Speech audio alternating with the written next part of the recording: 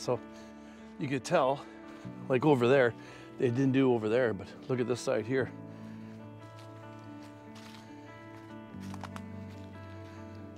All the way over to the campsites over there. So, like I said, he said they came in with a skid steer that had a wheel on the front of it and just started grinding everything up. So, like I said, there's a ton of wood just sitting here. That's why I asked him. I says, "Do you mind if I uh, salvage some wood?" He goes, "Nope, not at all." So that's what we're doing. We're gonna salvage some wood. Why not? Help clean things up and and it's free. JJ likes free. Free's good.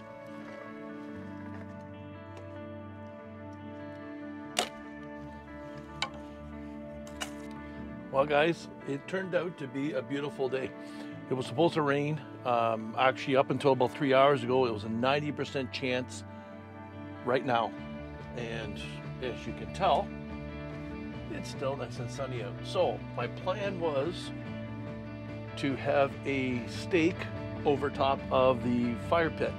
Now, this is wouldn't be called quite a steak. It's a like a chuck roast, and then they, but it's extremely thick. So I'm going to build a fire and then I'll put the uh, tripod over top of it. I haven't used it for quite a while, so I think today's the day to use it. And I'll explain a little bit more about that tripod. Oh, somebody was asking me, why do I keep a can of air?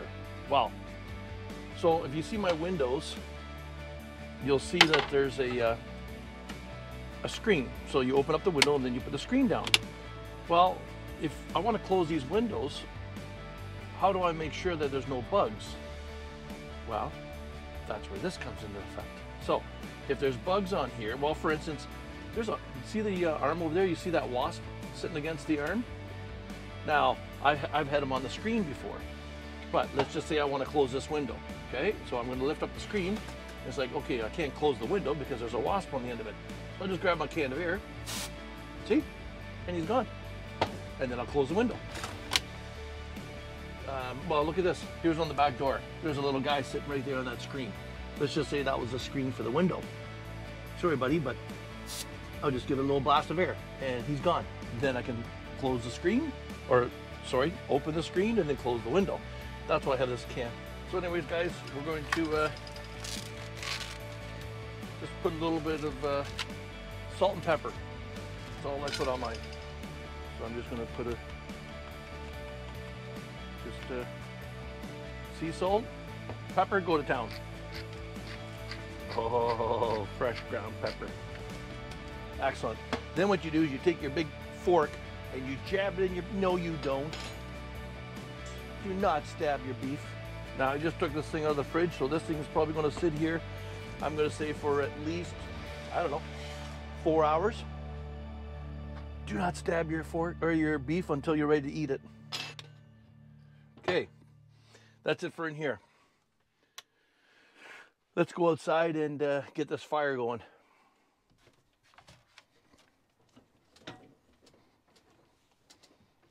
Look at this. This morning, it said it was a 90% chance of rain today. Actually, everybody packed up here. When I say everybody, there's two trailers there. This was all this morning full. There was two people camping here last night. There's nobody here. Everybody took off.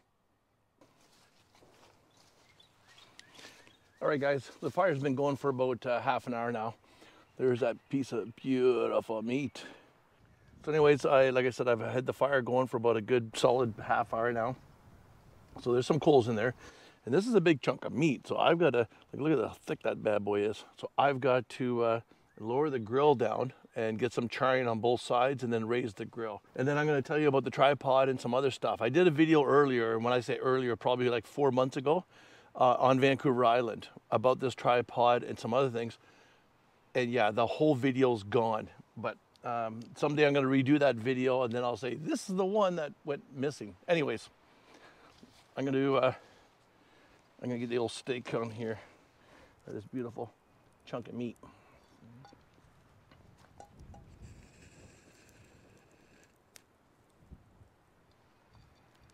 There we go. The meat is owned. I'm gonna leave, just flip it once.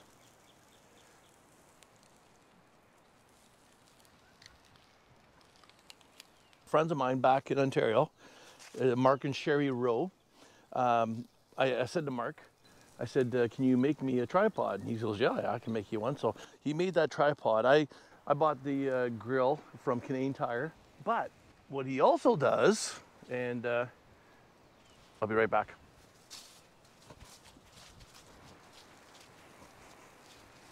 Okay, right here. Sweet Forges. So Sherry, Mark's wife, she does the leather work, and Mark actually does the forging. So this is a kitchen knife, and I know Mark, you're going to sit there and go, JJ, I know you're gonna have to clean these up for me, but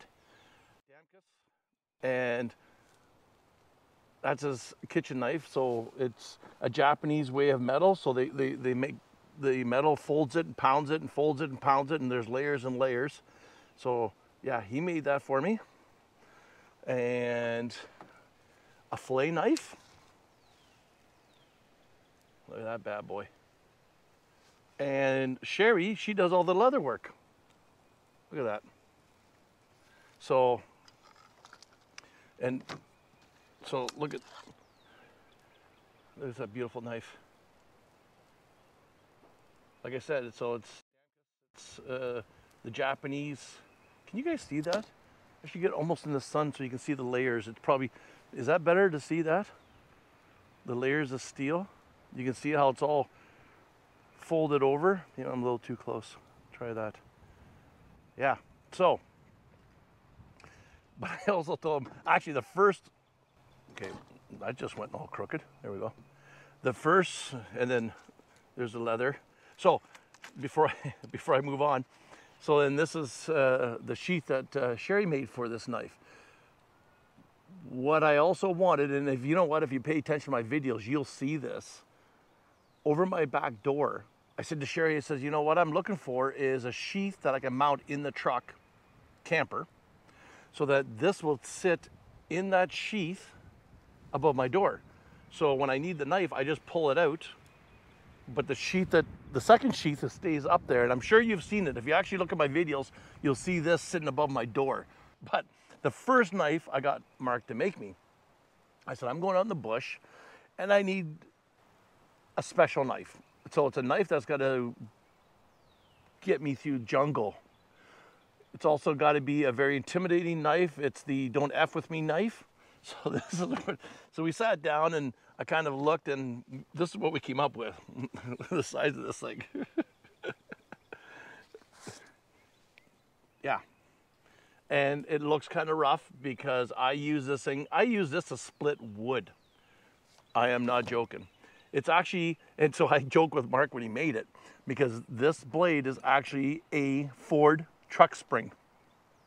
So of course, me being the Chevy boy, I said, great, it's gonna break after the first time I use it. What else am I gonna say? But anyways, it's a heavy knife. Look at the grip on there. Brass.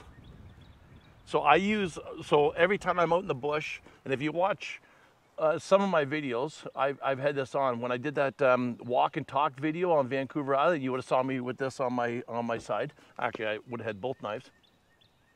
But this is the knife I use if I'm, you know, out there smashing and bashing, have to cut a tree, um, I, like I said, I've used this to split wood. I've actually put this on a block and used another block to hit this on the edge. And I haven't done nothing to this thing. It hasn't affected. And I'll tell you something, it's still sharp as a frickin' rock. Sharp as a rock. Sharp. That doesn't even make sense. Yeah, so, um, so I want you to go to their web, their, their Facebook page. It's called Fire Pit Forge and I'll write it on the top of the screen. Fire Pit Forge. I believe they also have um, a website, but I'm not 100% sure. Um, but if, yeah, you can go look look them up. Uh, he'll do anything. You'll see all the knives he's made, and he will. Man, like I said, we just we just came up with this one, and as soon as we came up with this one, a couple people saw and said, "I want one."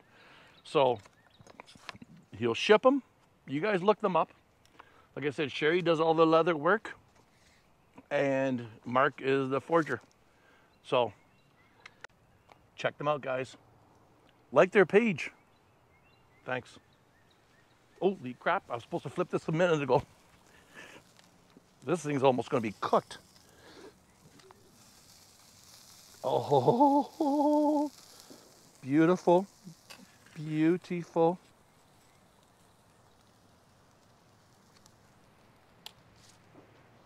Okay, I should have been paying attention more instead of talking. Anyways, let's go take a look. Look at that. Oh, tell me that is not going to be tasty. Yeah, so he made me this tripod, and uh, it is heavy duty, half inch. This is not the cheap little sections you put together. This thing's heavy. And like I said, I uh, just picked up that uh, grill from Canadian Tire. I believe it fits on like almost like a green egg or something. And then I put the chain, and, and this is the uh, just aircraft cable. I used to have downriggers, so I had to roll that uh, small cable for the downrigging, and that's it. Bought a pulley and and just this piece of flat bar. So I just drilled it out so it's the same size. Basically, just slides over, and of course, when it pulls up, it just locks in, right? Just just from friction. But anyways, yeah. So guys, like I said, so Mark and Sherry Rowe, and uh, like I said, Fire Pit Forge on Facebook. Give them thumbs up and uh, tell them JJ sent you. All right, we'll uh, catch you in a bit. Oh, so uh, there's the. So what I did is I took the I took the baked potato, I cut it in half, and then I scored it, and then I put garlic and butter and then folded the tinfoil around it. So it's that like there's two halves, obviously. And that way the uh, garlic or the butter, when it melts, it takes it in there and it's all done. I don't have to do nothing when I pull it off. I'll eat one tonight. The other one would be for supper tomorrow night. Perfect. Yeah, look at this. It's supposed to be pouring rain right now.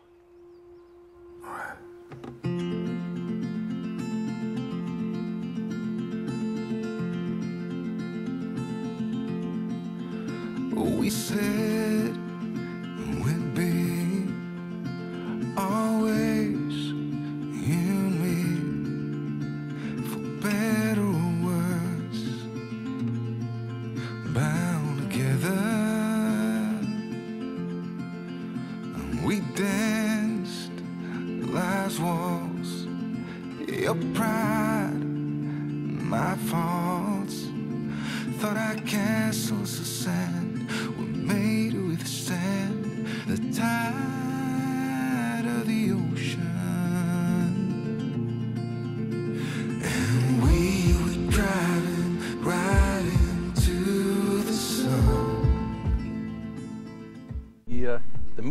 for a little bit.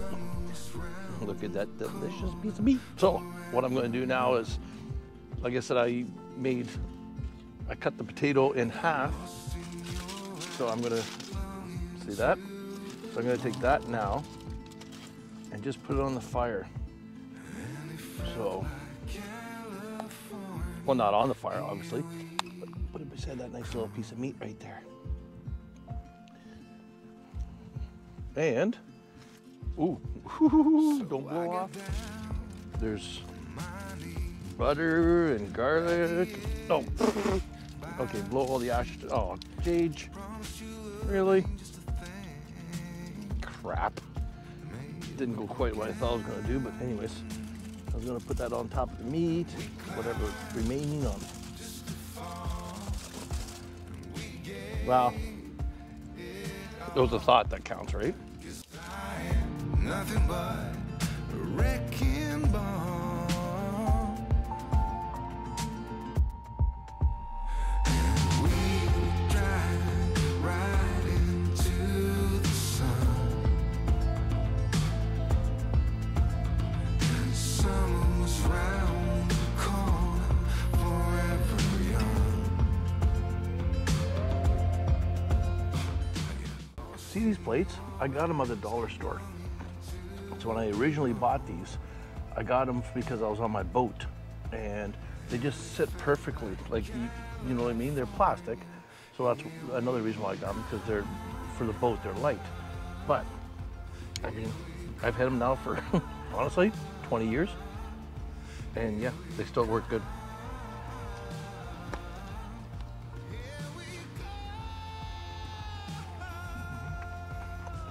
Mm, mm, mm, mm, mm.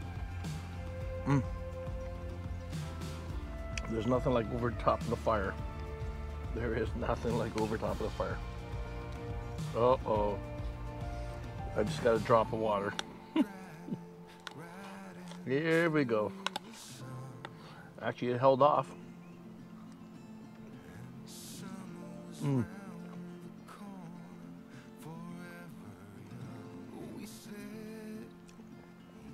Potato is fantastic.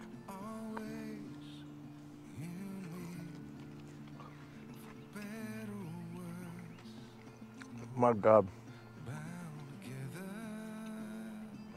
What is it about cooking over wood? Oh, Your pride, my faults. Thought I castles of sand were made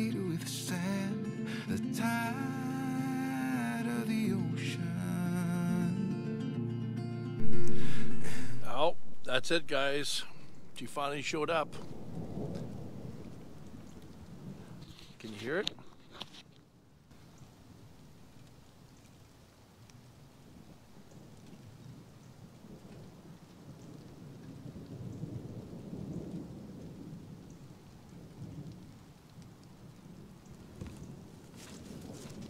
Yep.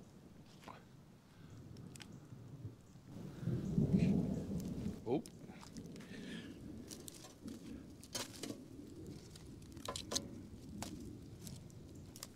Oh, there was a big flash. Yeah, it was a big flash. Okay, what what's the weather doing out there?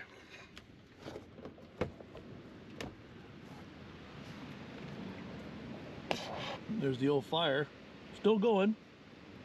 It's been raining pretty good.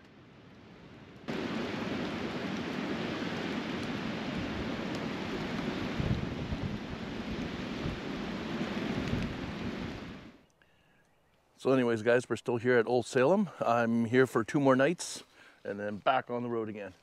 But, anyways, we're going to take the electric bike because I was talking to the uh, camp host, Neil, and uh, he gave me a map. And if we go across, so we're right here, this is the campsite here, and if we go across the highway, there's some trails down here, but there's an old restaurant that's closed down now, but the river runs here. And you can see where the um, grist mill is, like right, right there.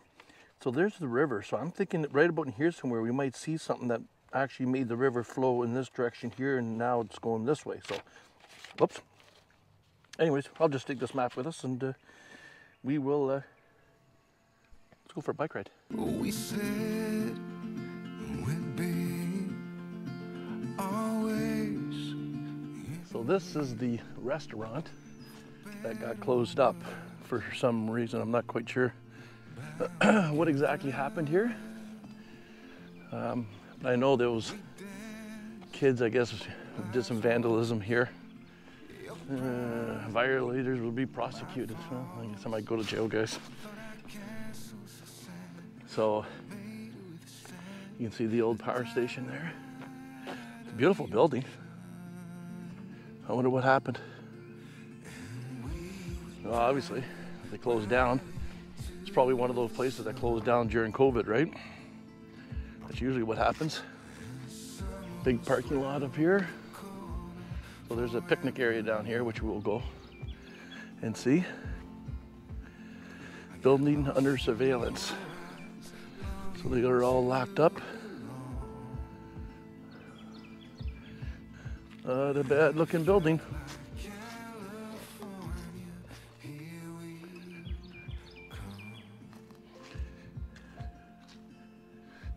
Copper flashing right there. You can see it. That's cool. All right, so we are now at the at that picnic area, and so they got a nice little playground and a shelter area. So that's where we are right here. Do So right here. So then that's where I'm camping there. So I crossed the highway here and then came down this road and that's the boat ramp over there. So that's a shelter. So I'm thinking about taking this trail here, which will bring me back out at the sawmill. And then I can come along the highway here and then come back up on this road here to my campsite, which is right there. Let's check this trail out. Interesting. I'm always fascinated when I see stuff like that. It's like we're out in the middle of nowhere, and yet there's a fire hydrant. So, way back when this was put in, was it a plan at one time that this would all be developed? Because I guarantee if there's a fire hydrant, there'll be a sewer system here. Sandbags. There's the river. And there's asphalt here. Interesting. Maybe was a start of a plan to actually put houses along here.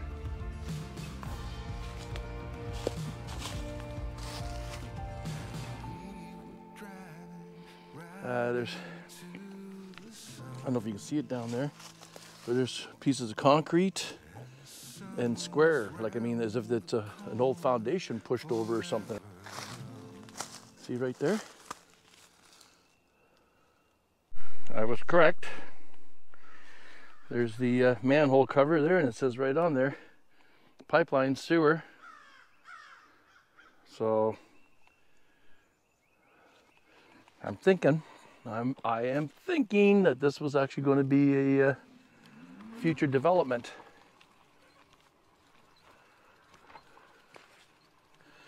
Maybe when they did Old Salem, uh,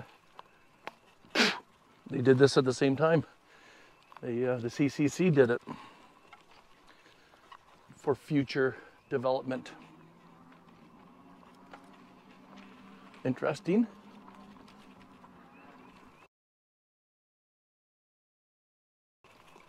Oh, I just ran over another sewer or manhole cover. Okay, these two paths are right beside each other now, so. Oh, uh, I might not be able to go too far down there. I see a tree falling, but let's go back here a little bit because it looks like it's been washed out right here. So that's a, definitely a good sized river. She's uh, definitely washed out here.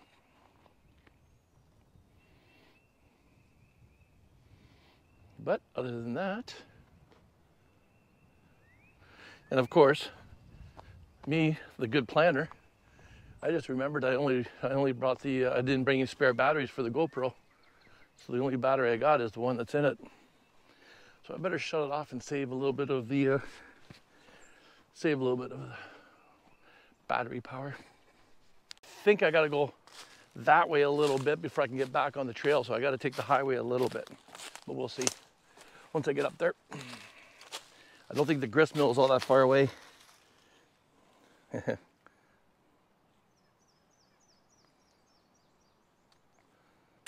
Caution, water valve.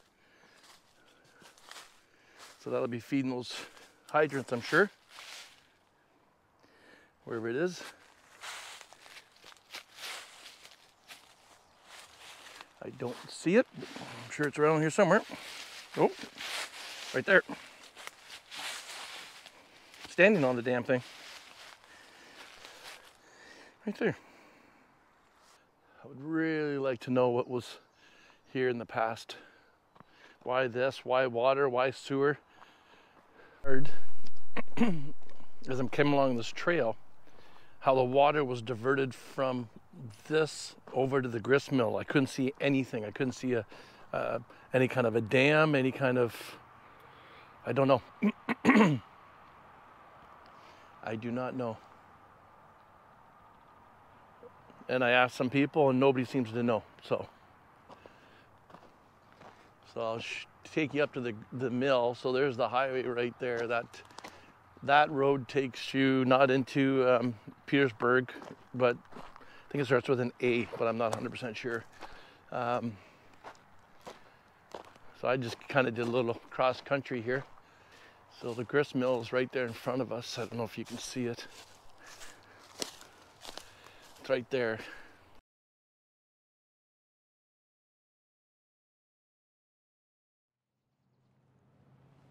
All right, guys, uh, just packing up. Uh, I've been out here for probably five days now. Um, beautiful spot, beautiful little spot, and great trails around here. Uh, obviously, through the old village, or you go across the highway. There's a bunch of trails along the river, so um, definitely uh, a point to uh, if I'm in this area again to stop back again. Got the bike loaded up yesterday and the barbecue, but I'll tell you something. It hasn't been the nicest weather uh, in the last two days blowing, cold. I think it got down to around freezing last night. Um, the wind is, as you can tell, it's still uh, blowing pretty good right now. It's maybe 42, 43. But anyways, I'm just going to uh, pack up, put the flag away, get off the ramps, and uh, head up. And I'm going to go to the dump station because I did use the shower, so I thought, well, I must get rid of the gray water. I head out here. I'm uh, I'm ready for uh, new adventures. So as always, be good, be kind, be careful. We'll talk to you guys later.